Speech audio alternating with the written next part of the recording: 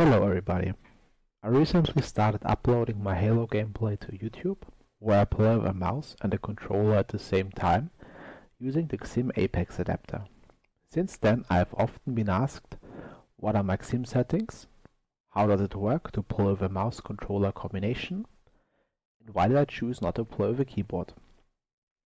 Therefore I would like to answer these questions and also show you with a camera how I play with a mouse controller combination and explain the advantages you gain with this setup. I will show my XIM settings and the settings for mouse first. By the way, I'm using Logitech G502. What you need to be aware of first is um, that you have to set the same hertz in both the XIM app and for your mouse. I recommend using 1000 Hz because it makes the input lag the lowest. With 1000 Hz you have 1 millisecond input lag. Next, I have activated expert mode. This allows me to put my dead zones at zero. I'm not sure if that's ideal, but in my opinion it is good to have dead zones at zero as it will give you the fastest responses. If dead zones are needed, I would configure that in-game. Otherwise there is nothing else to consider in XIM.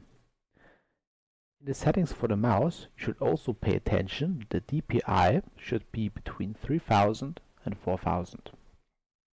That's the spot where XIM can work best. I have a plastic mousepad as a base, which is why I use 4000 dpi. Here you can see my key assignments. I'm still using the left side of my controller and play bumper jumper. The XIM labeled these actions uh, with default settings in Halo. For example, left trigger is called aim down sight or zoom because with default settings in Halo 5 you zoom with left trigger. But with Bumper Jumper, the settings that I use in Halo, left trigger is throwing grenades. Of course I will show you every button while I play. So all these J's mean that I use this button with my controller. So left trigger is throwing grenades, left stick is moving or crouching, and left bumper is jumping. I sprint and stabilize with A, and I thrust with X. I have four paddles on the back of my controller, so I can use A and X with my left hand, even though they're on the right side of the controller as face buttons. I also left pause and guide button on the controller. All the remaining actions are on my mouse. As sensitivity, I have set 15 for Halo 5 and 20 for Halo 3, but I will show you later how I chose these settings.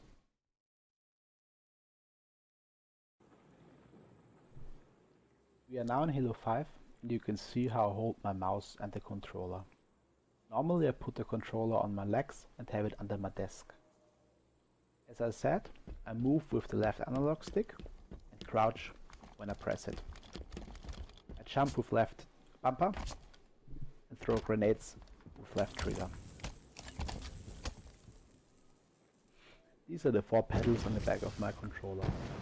I uh, I used the two on the left and sprinting.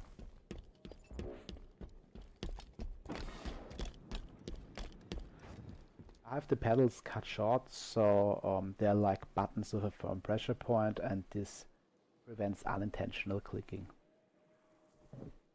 And this is how I use the mouse. I shoot with the left uh, left click and I zoom with right click. Side buttons are dashboard, reload, switching weapons, melee and switching grenades.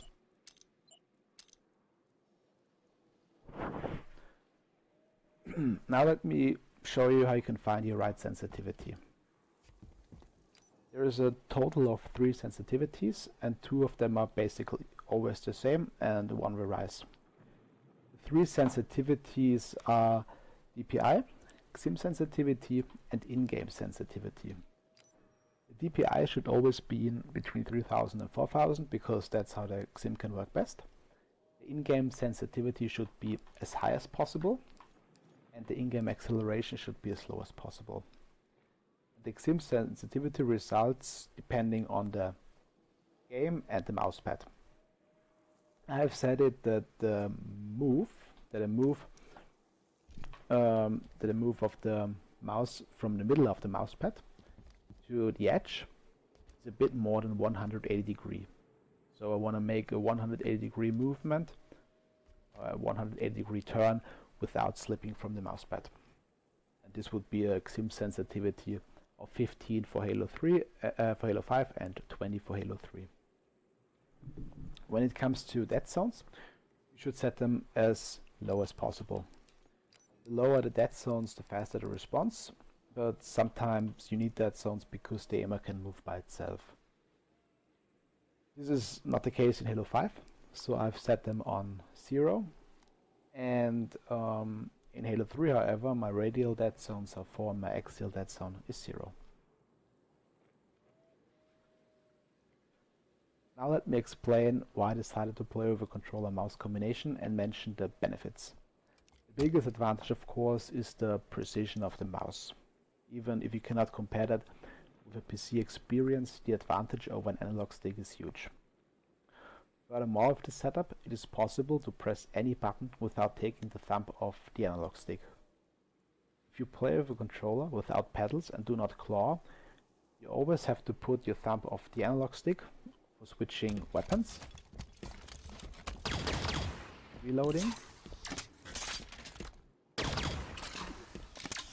sprinting, thrusting, What?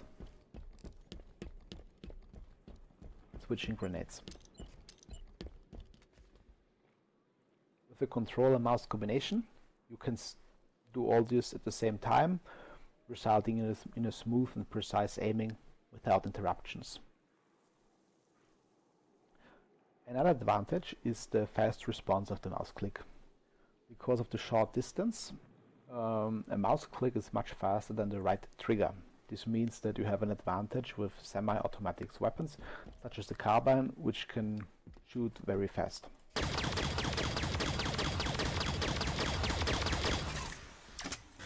Lastly, I want to give you the reason why I do not, do not play with a keyboard. The reason is that I think that the 360 degree movement of the analog stick is more important for a game like Halo than the faster response of WASD. That's because Halo has a lot of 1v1 battles going on for several seconds. This time your direction is given.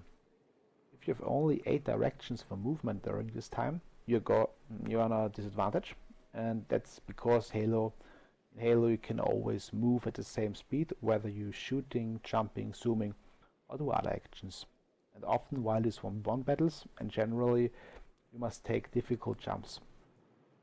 All this requires a precise angle, which in my opinion can only be achieved with an analog stick. In my opinion, this advantage outweighs the benefit of WASD fast responses. But the fast response of WASD for movement is also extremely important. Basically, it's much faster to press WASD to change the direction of movement than move the analog stick from one side the other. So fast movement is very important when it comes to strafing and aiming. And currently uh, I have set a fast acceleration curve in my controller app. This means I only need to move my analog stick 50% to achieve 100% movement speed. The remaining 50% of the radius of the analog stick, which I don't use, I have blocked with tape to avoid unnecessary movements, unnecessary analog stick movements.